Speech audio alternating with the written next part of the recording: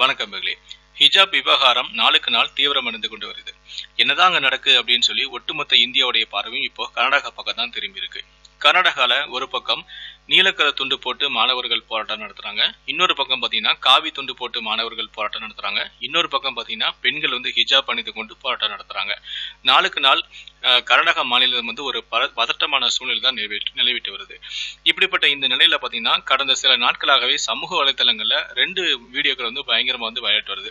ஒண்ணு வந்து பாத்தீங்கன்னா தேசிய கொடியை இறக்கிட்டு மாணவர்கள் வந்து காவி கொடியை ஏற்றாங்க இந்த வீடியோக்கு கடுமையான எதிர்ப்புகளும் கிளம்பி இருக்கு அதே மாதிரி ஒரு முஸ்லீம் பெண்ணை வந்து பல ஹிஜாப் முஸ்லீம் பெண் ஹிஜாப் அணிந்த ஒரு முஸ்லீம் பெண்ணை சுற்றி நின்று ஜெய் ஸ்ரீராம் ஜெய் ஸ்ரீராம் அப்படின்னு சொல்லிட்டு காவி துண்டு அணிந்த மாணவர்கள் வந்து கத்துறதும் பதிலுக்கு இந்த பெண்ணும் வந்து அல்லாஹ் அக்பர் அல்லாஹ் அக்பர் அப்படின்னு தனி ஒரு ஆளாக வந்து அந்த மாணவரை எதிர்த்து குரல் கொடுக்கக்கூடிய வீடியோ தான் தற்போது சமூக வலைத்தளங்களில் வைரல் ஆயிட்டு வருது.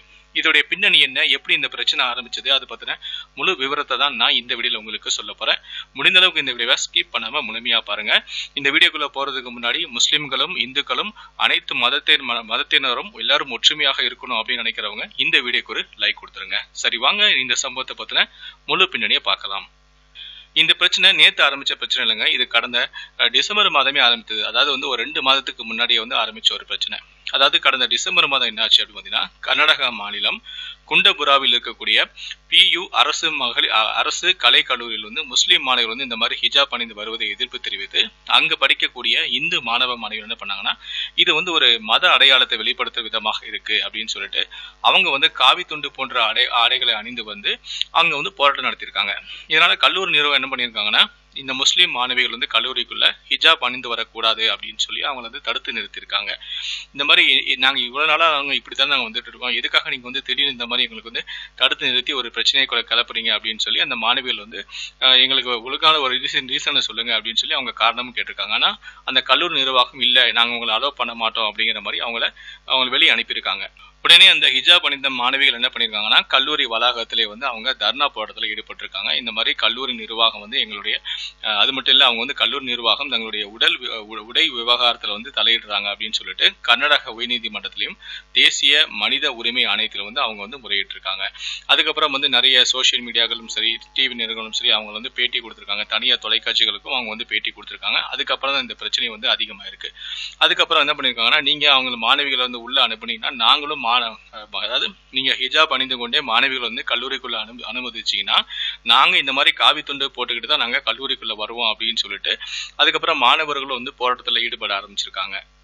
இது அடுத்துதான் ஹிஜாப் அணிந்து வரும் முஸ்லீம் மாணவிகள் தொடர்ந்து கல்லூரிக்குள் அனுமதிக்காததால முஸ்லீம் மாணவிகளும் பல்வேறு அமைப்பினரும் கல்லூரி நிர்வாகத்துக்கு எதிர்ப்பு தெரிவித்து அவங்க வந்து போராட்டம் நடத்திருக்காங்க. அதுக்கப்புறம் வந்து ஒரு சமாதான உடன்படிக்கைக்கு அந்த கல்லூரி நிர்வாகம் வந்திருக்காங்க. அவங்க என்ன சொல்லியிருக்காங்கன்னா இந்த மே இந்த பிரச்சனை வந்து மெல்ல மெல்ல தீவிரமடைந்து வருவது நிலையில அந்த முஸ்லீம் மாணவிகள் வந்து ஹிஜாப் அணிந்து நீங்க கல்லூரிக்குள்ள வரலாம். ஆனா அவங்களுக்கு நாங்க தனி வகுப்பறையில தான் வந்து அவங்கள வந்து உட்கார வைப்போம் அப்படிங்கிற மாதிரி சம்பந்தப்பட்ட கல்லூரி நிர்வாகம் வந்து கூறியிருக்காங்க. நீங்க என்ன இவ்வளவு நாளாக வந்து புதுசு புதுசாக ரூல்ஸ் போட்டுட்டு இருக்கீங்க. நாங்க எப்போதும் போல நாங்க வந்து எப்பவும் எப்படி கிளாஸ்ல இருப்போமோ அதே மாதிரி தான் நாங்க இருப்போம் அப்படின்னு சொல்லிட்டு இந்த இந்த சமாதான உடன்படிக்கைக்கு அந்த மாணவிகள் வராம திரும்பவும் வந்து அவங்க போராட்டத்துல ஈடுபட ஆரம்பிச்சிருக்காங்க. இந்த நிலையில தான் அந்த தேசிய கொடி இறக்கிட்டு அவங்க காவி கொடி ஏற்றின வீடியோவும் அந்த அல்லாஹ் அக்பர் அல்லாஹ் அக்பர் அப்படின்னு சொல்லிட்டு அந்த பெண் வந்து தனி ஒரு ஆளாக வந்து கர்ஜனையிட்ட அந்த வீடியோவும் வந்து சமூக வலைத்தளம் வந்து பயங்கரமாக விளையாட்டுறது இப்படி நாளுக்கு நாள் வந்து ஒரு பதட்டமான சூழ்நிலை உருவானதால என்ன பண்ணியிருக்காங்கன்னா கர்நாடகா முதலமைச்சரான பசவத் பொம்மை என்ன பண்ணியிருக்காங்கன்னா மூணு நாட்கள் வந்து பள்ளி கல்லூரி எல்லாத்துக்குமே வந்து விடுமுறை. நீங்க வந்து இந்த மாதிரி பிரச்சனை பண்ணக்கூடாது. இது வேற எங்கேயே கொண்டு போய் முடிய போது மத கலவரத்தை ஏற்படுத்திடும் அப்படின்னு சொல்லி அவர் உடனடியாக என்ன பண்ணியிருக்காங்கன்னா மூணு நாட்கள் அனைத்து பள்ளி மற்றும் கல்லூரிகளுக்கு கர்நாடகா முழுவதும் வந்து விடுமுறை அப்படின்னு சொல்லி அறிவிச்சிருக்காரு.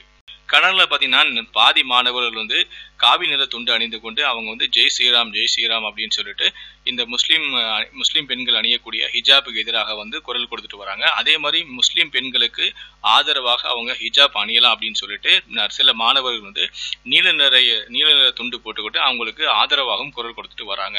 இதற்கிடையில் பார்த்தீங்கன்னா சமூக வலைதளங்களில் நேற்று ஒரு வீடியோ வந்து பயங்கரமாக வைரலாச்சு. அதாவது காவி துண்டணிந்த மாணவர்கள் கூட்டமாக இருக்கும்போது அப்போ ஒரு பெண் வந்து அதாவது மாணவர்கள் எல்லாருமே வந்து ஜெய் ஸ்ரீராம் ஜெய் ஸ்ரீராம் அப்படின்னு சொல்லி கோஷமிட்டு இருக்கும்போது அங்கே வந்த ஒரு முஸ்லீம் பெண் வந்து அவங்க அத்தனை பேருக்கு முன்னாடி தனி ஒரு ஆளாக வந்து அல்லாஹு அக்பர் அல்லாஹு அக்பர் அப்படின்னு சொல்லிட்டு அவங்க வந்து கோஷம் போடுறாங்க. தற்போது இந்த அல்லாஹு அக்பருக்கு என்ன காரணம் அப்படின்னு சொல்லிட்டு சமூக வலைத்தளங்களில் பல காரணங்கள் வந்து சொல்லப்படுது. அதுக்கு உண்மையான காரணம் என்ன? இந்த ம- எப்படி வந்து திணிக்கப்பட்டிருக்கு? தப்பான காரணங்கள் என்னென்ன விஷயங்கள்லாம் திணிக்கப்பட்டிருக்கு அப்படிங்கிறத பத்தி ஒரு ஒரு நபர் வந்து அதையும் வந்து சோஷியல் மீடியால ஷேர் பண்ணியிருக்காரு. அதுல அவர் என்ன சொல்லியிருக்காரு அப்படின்னு பார்த்தீங்கன்னா அல்லாஹு அக்பர் அப்படின்னா நேற்று இரவு வரை இறைவனே பெரியவன் என்னும் பொருளுடைய ஒரு வழிபாட்டு சொல்லாக அது இருந்தது. ஆனால் இன்றைக்கு அதன் பொருளோ அது அது மட்டுமல்ல அல்லாஹ் அக்பர் இன்று ஒரு அரசியல் சொல்லாகவே மாறிவிட்டது.